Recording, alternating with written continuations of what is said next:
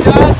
This is my ALS Ice Bucket Challenge. I want to thank Matt Fraser, Alex Chiasson, Matt Clune, Dylan Wells, and Sam Gagne for the nominations. We're here at the bottom of the Niagara River, uh, right beside the falls. Uh, water straight out of the rapids.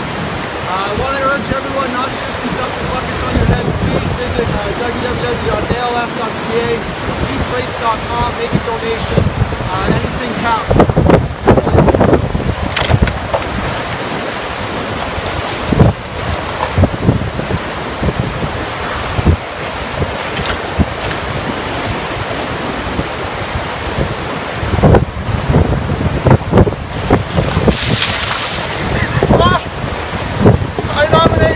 Drasden, Michael Leandis, Sportsnet's Carolyn Cameron, and Dallas Eakins. You guys are on the clock.